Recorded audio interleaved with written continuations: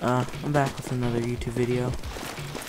I'm on Counter Strike right now. Might look a little bit laggy, but uh, the point I'm about to get to is uh, it might look like that because of my uh CPU. I didn't install it yet or anything, so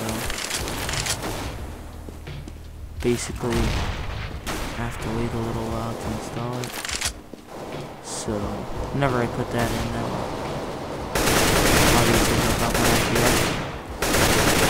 And don't call me bad, because this is my first game on, so... Uh... Yeah, I'm just trying to get a vid out for you guys.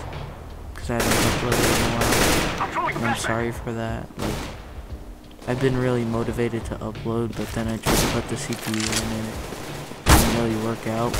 Um, so that happened. Just playing some Counter Strike right now. Been playing this game a lot. Um, I'll put a Steam community link down in the comment section below so you guys can add me on Steam and uh, we can play and stuff like that. So, yeah. Uh, I hope you guys enjoyed the video.